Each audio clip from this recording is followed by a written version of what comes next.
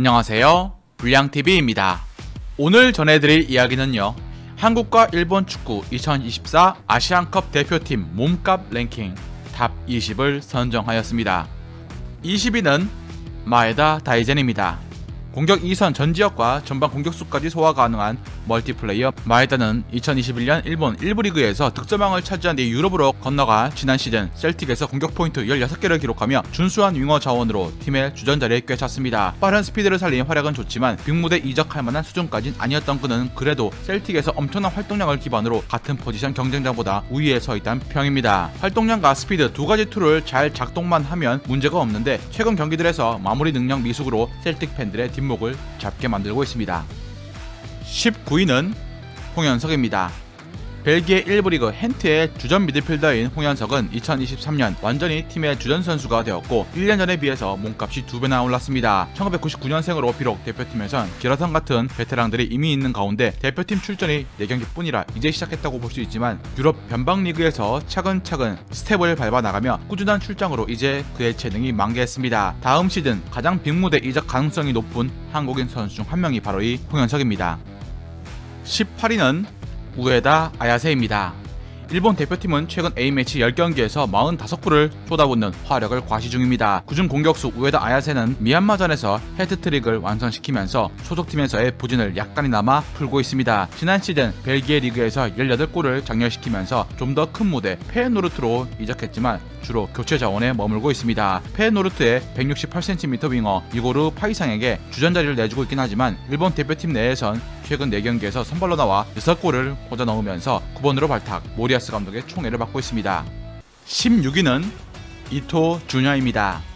일본 대표팀 선수들이 벨기에 리그를 거쳐서 다음 리그로 step up을 하는 선수들이 많아지고 있는 가운데 이토 준야 역시 헹크에서의 활약을 바탕으로 프랑스 1부 리그 스타드드 랭스로 2022년 합류했습니다. 이젠 일본 대표팀의 우측 날개 주전 멤버로 활약 중이고 카타르 월드컵에서 스페인을 무너뜨린 1등 공신이 되었죠. 월드컵 이후 대표팀에서 에이스가 되었고 실제로 최근 일본 대표팀의 A매치 5경기에서 3골 5도움의 괴랄스러운 활약을 선보였습니다. 특히 시리아전 4도움이 충격적이었고 강팀과의 대결에선 오히려 더 찬스 메이커가 되곤 했습니다. 지난 시즌 프랑스 리그 데뷔 첫해 공격 포인트 11개를 기록한 데 이어서 올 시즌 역시 두 자릿수 공격 포인트 가능성이 높게 점쳐지고 있습니다.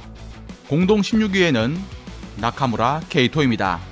2021년 오스트리아 리그에서 14골 7도움을 올리면서 2023년 3월 처음으로 일본 대표팀의 승선해 데뷔를 치렀습니다. 좌우 측면을 두루 소화 가능한 멀티성을 갖고 있는 이 23살의 윙어는 일본 대표팀의 측면 자원을 더욱 풍부하게 만들어주고 있다는 평입니다. 미토마와 다른 스타일로 드리블보단 정교한 킥력으로 찬스를 만드는 유형, 도움도 출중하지만 그의 오른발 한 방은 경기를 바꿀 수 있는 힘이 있습니다. 아시안컵 합류 직전 소속팀에서 오랜만에 골을 터뜨리면서 다시 폼을 찾아가고 있는 중이기 때문에 이번 아시안컵은 케이토에게 중요한 터닝 포인트가 될 것입니다. 15위는 하타테 레오입니다. 수비형 미드필더를 제외하고 중원 전 지역에서 어떤 역할이든 소화 가능한 1997년생 레오는 국대에 발탁된 지 이제 6개월밖에 안 되었지만 2021년 일본 프로리그 베스트 11을 수상하고 다음에 스코틀랜드로 넘어가 데뷔 시즌에 올해 팀 멤버에 뽑힐 만큼 매우 뚜렷한 성장세를 보이고 있는 선수입니다. 챔스 무대에서 보여준 건 없었지만 분명 스코틀랜드 리그 내에선 발군의 능력을 선보였다는 것입니다. 다만 171cm의 작은 피지컬로 압박에 약하다는 것과 은근 잔부상이 많다는 점도 단점으로 지적되고 있습니다. 셀틱 이적 후 몸값이 1년 만에 10배가 상승한 점을 보면 확실히 유럽 무대에서 보여주는 가치가 크다고 볼 수 있습니다. 공동 13위에는 미나미노 타쿠미입니다.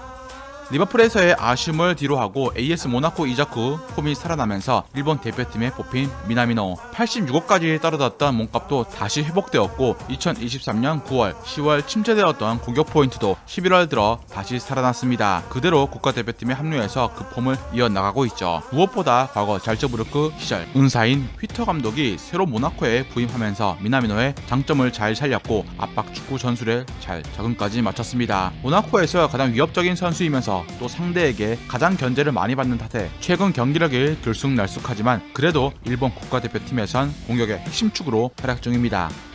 공동 13위의 모리타 히데마사입니다. 2021년부터 실력이 만개 국대에서 중용되고 스포르팅 리스본 이적 후에는 공격 포인트 10개를 기록하며 유럽 무대에 연착륙에 성공을 했습니다. 일본 무대에서 이미 이룰 건 다 이루고 유럽으로 가 성공한 케이스로 스포르팅 2년 차인 2023년에 팀을 리그 1위로 이끄는 주전 선수가 되었습니다. 공수 양면에서 수비와 공격의 연결고리를 잘 해주는 선수로 팀의 윤활유 같은 선수입니다. 28살로 전성기인 현재 그의 최고점이라 볼 수 있죠.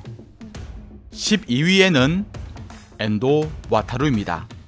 일본 대표팀의 주장인 엔도는 30살 베테랑으로 대표팀과 리버풀에서 중요한 수비형 미드필더 임무를 맡고 있습니다. 다만 상대의 강한 압박에 약한 모습이 있다는 단점도 있죠. 과거 한국 대표팀의 박지성처럼 그라운드 곳곳에 등장해 살림꾼 역할을 하고 있는 그는 리버풀에선 처음엔 영입에 의문점도 있었지만 주요 선수들이 부상을 당하는 사이에 클롭 감독에 pick이 되어서 많은 경기에서 영향력을 발휘했습니다. 아시안컵이 열리기 전 선발로 출전한 리버풀 8경기에서 6경기를 승리로 가져오면서 리버풀의 부활을 이끌었습니다. 파비뉴 이후에 후계자로 제격인 셈, 엔도 스스로도 분데스리가에서 EPL로 넘어오면서 템포가 더 빨라졌고 step up까지 했다는 평입니다.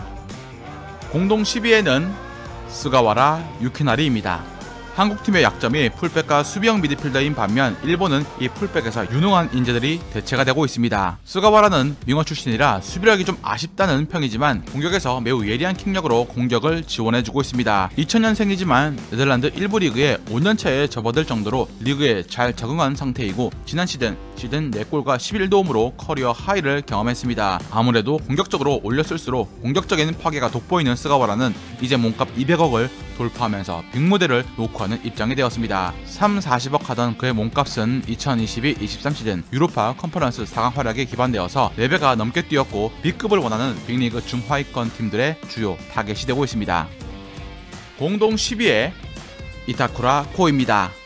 전진 수비를 즐기며 1대1 경합은 물론 공중볼 경합이나 헤더에 있어서 좋은 모습을 보이고 있는 이타쿠라는 2023년 김민재가 빠진 나폴리의 센터백 영입 자원으로 지목을 받기도 했지만 독일 무대에 잔류했습니다. 2019년 맨시티로 이적했지만 단 한 경기도 출장하지 못한 채 다른 팀으로 임대를 간 경험이 있던 탓에 무리한 도전이나 합당한 대우 없이는 쉽게 이적을 하지 않겠다는 의미였습니다. 또 묀헨글라트바흐에서 독보적인 센터백 자리를 이제 공고히 다지고 있는 중이죠. 요시다 마야가 대표팀을 떠나고 이타쿠라가 build-up의 역할을 하고 있는데 안정성이 간혹 떨어져 대형 실수를 가끔 내줄 때도 있다는 단점이 있습니다. 9위는 도안 리츠입니다. 2022 카타르 월드컵에서 스페인과 독일을 상대로 각각 한 골씩 뽑아내며 일본의 16강 행을 이끈 도안은 프라이브루크에서 지난 시즌 14개의 공격 포인트를 쌓으며 팀의 5위 마크에 혁혁한 공을 세웠습니다. 올 시즌 유로파리그에서 맹활약하면서 리그에서의 부진을 이겨내고 있는 중이죠. 2019년에 큰 기대를 안고 아인트호벤으로 이적했지만 실패했고 프라이브루크 이적 후에 다시 부활에 성공한 케이스입니다. 올 시즌 리그에서의 부진이 우려가 되고 있고 랭스 듀오나 쿠보에 밀려 대표팀에선 주로 교체 카드지만 일본 입장에선 big game changer가 있다는 것 자체로도 큰 이점입니다. 공동 6위에는 이토 히로키입니다. 독일 분데스리가 3위를 달리며 돌풍을 일으키고 있는 슈투트가르트는 2024년 1월 기라시, 이토, 정우영, 실라스가 아시안컵과 아프리카 네이션스컵으로 이탈하면서 비상이 걸렸습니다. 특히 이중 레프트백인 이토는 근육 부상을 당해서 12월부터 팀에서 이탈했고 슈투트가르트는 이토 없이 치른 5경기에서 2승 1무 2패를 기록 선두권 경쟁에 제동이 걸렸습니다. 가치가 높은 왼발잡이 풀백이라는 점 그리고 키도 186cm로 매우 좋습니다. 원래 주 포지션이 센터백이었는데 좌측 풀백으로 자리 잡은 후 엄청난 커버 범위를 자랑하며 좌측 스토퍼로도 정밀한 수비 또 롱킥을 이용한 전개까지 여러 재능들을 보여주고 있습니다. 1999년생으로 어린데다 수비 능력도 계속 오르고 있기 때문에 일본 대표팀에서 중요한 좌측 풀백 자리를 차지할 것으로 보입니다. 공동 6위에는 황희찬입니다. 2022년 말 카타르 월드컵에서 한국을 16강으로 보낸 결정적인 한방 이후 크게 step up을 한 황희찬은 2023-24 시즌 전반기 프리미어리그에서만 10골을 터뜨리면서 축구 인생 최대 전성기를 맞이했습니다. 11골로 득점과 나이도 비슷한 웨스트햄의 보웬의 가치가 700억대인 걸 감안하면 지금 황희찬의 가성비는 최대치라 할 만합니다. 급하게 부임한 게리 오닐 감독이 황희찬에게 좀 더 박스 안 골 냄새를 맡게 하는 사냥개 역할을 주면서 저돌적인 팀 색깔과 맞아떨어졌습니다. 대표팀에서의 이기자와 역할 배분이 아쉽다는 평이 있지만 그래도 측면에서 빠른 돌파로 공간과 기회를 만들어내며 한국 대표팀의 중요한 공격 자원임에는 틀림없어 보입니다. 공동 6위에는 이강인입니다.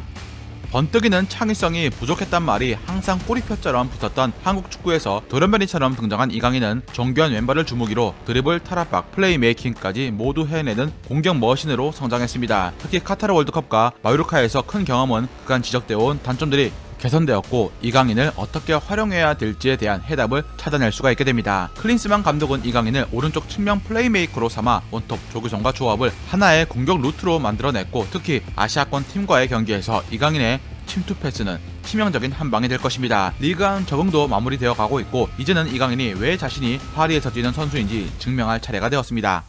5위는 토미야스 타케히로입니다. 2021년 아스날로 이적해서 기대를 모은 토미야스는 나올 땐 준수한 수비력을 보여주었지만 이따금씩 터지는 부상 때문에 아스날 팬들에게 애매하다는 얘기를 듣곤 했습니다. 왼쪽과 오른쪽 풀백 번갈아 나오는 토미야스는 지난 시즌 후반기에 무릎 부상으로 두 달간 아웃, 올 시즌 역시 종아리 부상으로 12월 초부터 한 달간 그라운드를 비웠습니다. 그야말로 조심조심해서 써야 하는 선수인 셈이죠. 아시안컵 전에 부상에서 복귀해서 간신히 아시안컵에 발탁된 그는 재활 중입니다. 대표팀에선 센터백을 맡고 있는데 그가 없는 와중 에 일본 수비 라인은 다소 불안할 수 있습니다. 공동 3위에는 미토마 카오루입니다.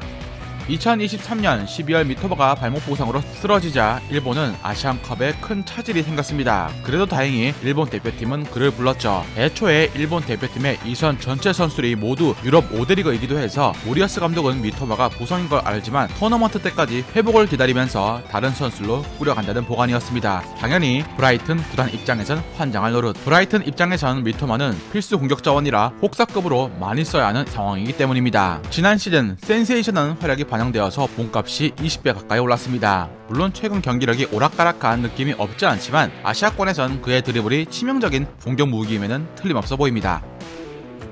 공동 3위에는 손흥민입니다. 나이는 이제 30살을 넘긴 손흥민이라 다소 몸값이 하락세를 향하는 건 어쩔 수 없지만 그의 슈팅은 마스터라 불릴 만큼 정점에 서 있습니다. 리그를 넘어서 전 세계에서 이만한 골 마무리를 해낼 수 있는 선수는 손에 꼽는 수준인데 이젠 슈팅뿐만 아니라 케인이 하던 플레이 메이킹까지 하게 되면서 축구도사 바늘에 올랐습니다. 국가대표에서 맞는 롤은 토트넘과 살짝 다른데 측면이라기보다 처진 공격수로 상대의 집중 견제를 스스로 받아내고 또 상대 수비를 끌고 다니고 있습니다. 프리미어리그 득점 순위 공동 3위에 랭크되어 있는 손흥민은 아시아에서 절대적인 위치에 선 선수지만 무관이라는 타이틀이 항상 그를 괴롭혔습니다. 이 기회가 마지막일 수 있습니다. 공동 1위에는 쿠보 타케후사입니다. 오른쪽 측면 공격수로 쿠보의 몸값 변동은 레알 마드리드 이적 후 내리막길을 걷다 레알 소시에다드 이적 후에 가파른 상승 곡선을 그리고 있습니다. 2022년 여름 소시에다드 이적할 때까지만 해도 그는 130억이었지만 지금은 6배나 올랐죠. 지난 시즌 라리가에서 16개의 공격 포인트로 라리가 베스트 11 완전히 팀의 에이스가 되었고 2023년 올 시즌 역시 전반기에만 6골 3도움으로 변함없는 리그 top class의 측면 자원으로 활약 중입니다. 물론 시즌 초반에 파괴력만큼은 아니지만 대표팀에서만큼은 우측 중앙 가리지 않고 주축으로 활약 중입니다. 공동 1위에는 김민재입니다. 2023년 나폴리의 리그 우승과 함께 세리에 A 최우수 수비수상까지 휩쓴 김민재는 거함 바이른 미넨 이적 후에 잠시 부침을 겪었지만 11월부터 원래 김민재의 장점이 다시 나오면서 미넨에서 끊임없이 출장을 하는 붙박이가 되었습니다. 국가대표팀에서의 김민재는 대체 불가능에 가까울 정도로 기복 제로의 모습을 보여주고 있습니다. 아시아권 팀과의 경기에서 그야말로 수비하는 벽 그 자체일 정도로 상대가 한국의 뒷공간을 공략하는 게 불가능할 정도. 김민재의 특기 중 하나인 넓은 커버 범위, 지능적인 수비 방법, 압도적인 공중볼 경합, 때로는 공격적인 롱패스 지원까지 아시안컵에서 한국의 우승 가능성은 김민재의 활약에 성패가 달려 있다 봐도 될 정도. 아시안컵 우승까지 하게 된다면 김민재는 역대 아시아 선수 최고의 수비수 자리를 넘볼 수 없는 위치까지 도달하지 않을까요? 즐겁게 보셨다면 구독과 좋아요 클릭을 부탁드립니다. 다음 이야기에선 현 아프리카 선수 3대당 중 한 명으로 기복 제로에 가까운 월드클래스 실력을 겸비해 어느 포지션에 두어도 빛나는 선수 한 분에 대해서 소개해 드리고자 합니다.